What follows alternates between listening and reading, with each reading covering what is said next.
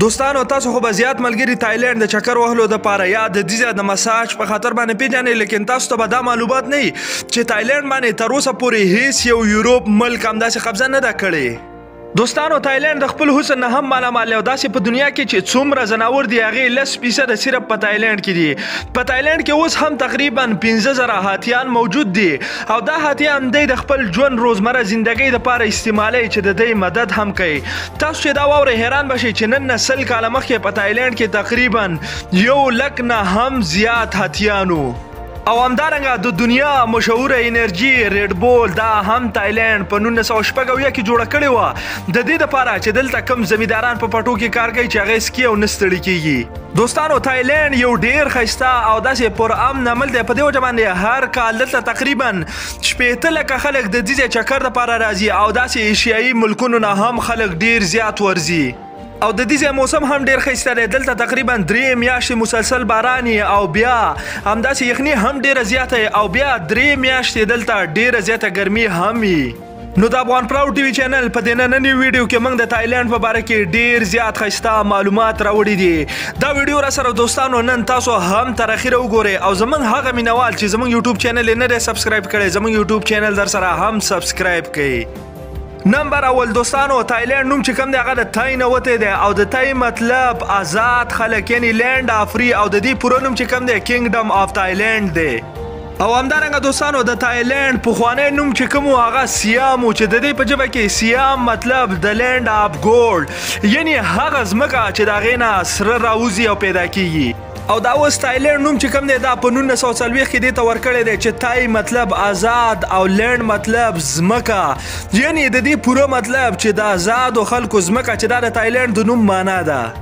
نمبر دریم دوستانو د انسان د زندګۍ زیاتره اثار اوس هم داسې په تایلند کې پیدا کیږي د تایلنډ خلک زیاتره همداسې وریجه ډیره زیاته کري او زمینداری ډیره زیاته کوي تایلنډ دا یو تای په نامه باندې یو قبیله وه چې دلته راغلې وه او آباده شوې وه دا قبیله په یولسمه صدۍ کې د ویتنام نه راغلې وه چې اوس ختمه ده او نشته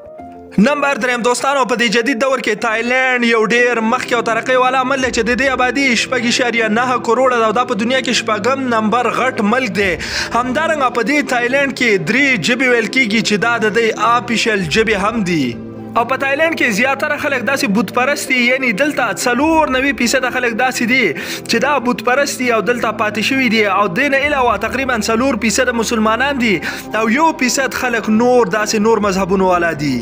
دلته یو دور داسې هم و چې یو هلک به شل کلنۍ ته ورسېده نو داسې دی به دا بودیزم ډیر زیات خوښوه داسې یو مشر به یې ترې جوړوه دی به دغه ځوان همداسې ځنګل کې ځان له پرېښوسته چې دی په خپل ژوند کې څه کول غواړي یعنې خپل انتخاب دې دی په خپله باندې وکړي اوس په 2021 کې د یو رپورټ مطابق د دې جی ډي پی د 1.3 تریلیون ډالر او داسې د یو کس د کال عاید تقریبا دلته 19000 ډالر دی چې د دینه 15 لک روپۍ جوړیږي د تایلند خپل افیشل کرنسی چې کم دغه تایپارډ او یو تایپارډ نن سبا د وو روپو همداسې برابر ده نمبر څلورم دوستانو تایلند ته یو اعزاز بل هم حاصل دی چې دلته تقریبا 1413 ایسلند دی او د کې زیات لوکیشن دي سي دي چې دلته د بالیوډ فلمونه هم زیات جوړ شوي دي تایلند ته یو اعزاز بل هم حاصل دی چې دلته د برما سیام ریلوی سټیشن چې کم دی دا د ریل ګاډي دا لار ډیره زیاته خطرناک ده دا 313 کیلومتره د ریل ګاډي دا لار چې کم ده دا په ډیر خطرناک ځایونو کې جوړه شوې ده همدارنګه دا لار چې جوړېده په هغه وخت کې د ورلډ وار دویم جنګ روانو چې دای د پوجیانو لپاره دا لار جوړه کړې و چې دای ته په مالونه لګي او همدارنګه دا ریلوی لار چې جوړېده نو په دې کې اتیا زره مزدوران هم مړو نو په دې وجه دا په دنیا کې د ریلګاړو خطرناکو لارو نه هم یو لار ده نمبر پنځم دوستانو تایلند چې کم دی د دې دارالحکومت بانکاک چې دا ډیر زیات خسته خار دی او داسې مشهور او غټ خار هم دی د دې آبادی تقریبا 1.15 کروڑه ده نو داسې دلته تایلندي خلک هم ډیر زیات اوسېږي د بانکاک ته یو اعزاز بل هم حاصل لې چې دته د سټي اپ بلینرز وای یعنی دوستانو دلته ډیر زیات سرمایدار خلک دی یو رپورت مطابق چې دلته دا ویا زره داسې کسان دي چې داسې میلیونونو ډالر پیسې لري نن نه یو څو کاله مخکې بینکاک یو داسې ځای چې په دنیا کې به زیات خلک بینکاک ته چکر لتله تقریبا په یو کال کې به دوه کروڑه نه هم زیات خلک تله بینکاک په دنیا کې د مساج په وجه باندې هم ډیر زیات مشهور دی لکه څنګه چې زمونږ استادو په کلو کوڅو کې داسې د بیکری دکانونه دي همدارنګه په بینکاک کې د مساج دکانونه هم دي دی چې ټوله ورځ وګرځي او بیا ماښام کور ته راشي نو تقریبا دېرش منټه پورې همداسې خپلو خپو ته مساج ورکوي چې د دې ځای خلک مساج ډیر زیات خوښوي یعنی دی روزانه خپل بدن ته مساج ضرور ورکوي نمبر شپږم دوستانو تایلند ته چې کوم دی د یورپ ملکونو نه هم ډیر زیات خلک راځي او د دې وجه دلته د مون پارټي هم ده خو لیکن د دې حقیقت اوریدو نه مخکې که تاسو تر اوسه پورې زمونږ د ویډیو ته لایک نه ورکړی نو زمونږ ویډیو لایک کړئ دوستانو د دې مون فول پارټۍ یو خاصیت دا هم دی چې د کې تایلنډي خلک نه بلکې دلته خارجي خلک چې دی راځي او دلته د ځان سره خپل خوراکونه هم راوړي په 1938 کې دلته یو لس کسان د بارمل نه راغلي و چې دغسې د نوي کال سپوږمۍ راختله نو دی دلته ټوله شپه همداسې پارټي کړې وه او بیا په دغه وجه باندې دا ډېره زیاته مشهوره هم شوه نو اوس دلته هره میاشت تقریبا دغه پارټي کیږي او په شل زره نه واله دېرش زره کسانو پورې دلته دی دې پارټۍ کې خلک شاملېږي په دوه زره څوارلسم کې دا پارټي بنده شوې هم وه ځکه غلط کارونه پکې کېده خو ولې اوس بیا ازاده شوې ده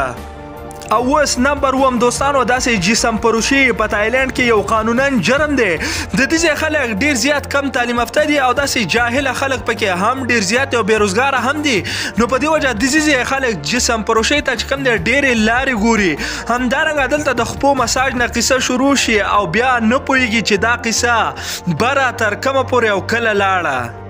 نو په دی وجه دلته چې اکثره کم خلک راځي هغه مساج هم ډیر زیات خوخی خو ولې په دې مساج کې بیا اکثره ډیر زیات غلط کارونه هم کیږي او په دې جسم پروشه باندې تقریبا 10 بلین ډالر د کال د عاید لري چې په دې وجه ګورنمنت هم سنه وایي نمبر اتم دوستانو د دنیا مشهور انرژي ریډ بول تاسو اکثر وایي چې دا به د یورپ د ملک نه خو بلکې دا تایلند جوړ کړی دا چې چالیو په نوم باندې یو کس دی چې د دا زیړ شربت جوړ کړی او دا غ خلکو د پاره چې په پټو کې به کار کاو او د غوښتل چې دا انرژي اوس کې چې ستړي نشي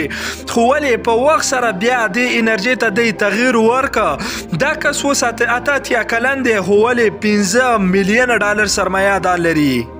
نمبر نه همدوسانو د تایلند پخوانی نوم سیام و چې د دې نوم په اخستو سره سیامي په نوم یو پیشو دی دې ته نوم ورکه نو دا پیشو اکثره دلته په ودونو کې هم خزو ته په تحفه کې ورکوي ځکه وایي چې دا خوش قسمت ای بیا تاسو چې دا وره حیران مشي چې د دې پیشوګانو تقریبا درش قسمونه وو خو ولې اوس نن سبا په دې دور کې د دې صرف شپږ قسمونه پاتې شوي دي همدارنګه په تایلند کې وې مرغۍ ډېری زیاتې دي دومره زیاتې دي چې یو رپورت مطابق چې داسې په امریکا او لندن کې څومره مرغۍ دي دا راټولې کې دې ته نشي رسیدې همدارنګه دلته دا بیزوګان هم ډېری زیاتې دي په تایلند کې د پی پی په نوم باندې یو آیسلند دی چې دا ویل کیږي چې مکمل له بیزوګانو نه ډک دی او داسې په کال کې په تایلند کې داسې یو فیسټیوال هم کیږي چې دا بیزوګان راولي او د دنیا قیمتي میوې په دی خوري